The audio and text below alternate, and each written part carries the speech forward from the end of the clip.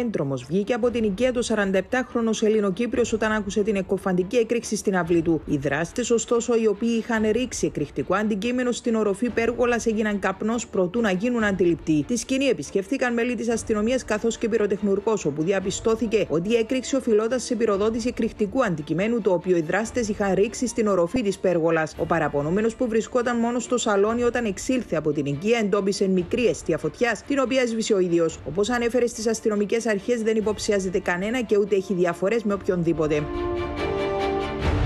Στόχος εμπριστών έγινε χθες βράδυ και 73χρονο στο χωριό Κιβίδε. Άγνωστοι φαίνεται να περιέλουσαν το όχημά του με φλεχτήλι που βρισκόταν σταθμμένο έξω από την οικία του και στη συνέχεια το πυρπόλησαν. Η φωτιά που κατέστρεψε ολοσχερό στο όχημα επεκτάθηκε και στην οικία προκαλώντας εκτεταμένες ζημιές. Μάλιστα, σύμφωνα με τον παραπονούμενο, ο οποίος βρισκόταν μόνο στο σπίτι με την οικιακή βοηθό, οι δράστες φαίνεται να του έγραψαν και με σπρέι στον τοίχο λέγοντάς του πως τα τεράτσα ενδικά μου και προειδοποιώσε. Ο παραπονούμενος ανέφερε πως δεν υποψιάζεται κανένα. Οι αρχές αναζητούν στοιχεία τα οποία θα τους οδηγήσουν στους δράστες.